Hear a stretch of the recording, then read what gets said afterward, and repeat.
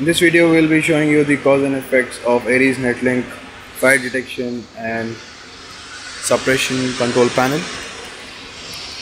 Now this particular cause would be the activation of the manual call point. Once the manual call point is activated, we shall see that the fire alarm goes off immediately and there is a ventilation shutdown also. So now you can see that there is no alarm presently on the screen.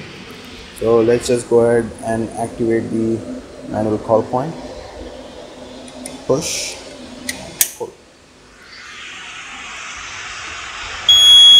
As you can see, the manual alarm is activated. That is nothing but the fifth address on loop 1 and it is in UPS room and you can see that there is an uh, alarm that is the indication is 001 you can see that the shutdown just turned off earlier it was green now it's red.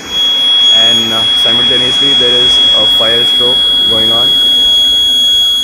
So that's the activation of manual call point.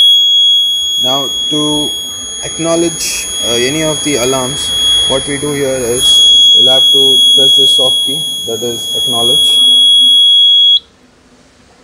This would be in the case if there is like a confirmation that there is no fire in the premises and uh, you go to the control panel acknowledge it and also reset the system or by pressing the second soft key. Acknowledge.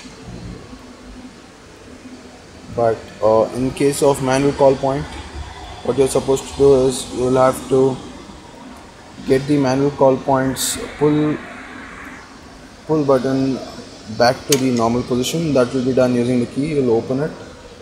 You can see there is a toggle switch. You'll toggle it downwards. Push the frame back on. Push back the pull and lock it. And uh, then system reset